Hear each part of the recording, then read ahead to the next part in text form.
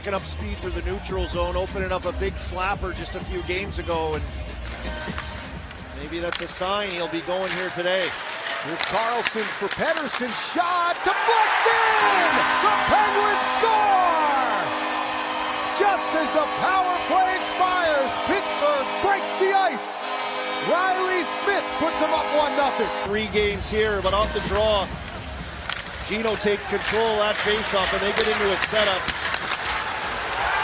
Just a deflection off him in front of the net. He's in and around the net. Pettersson, oh wow, just a lucky bounce off of Seider, off of Smith, and in.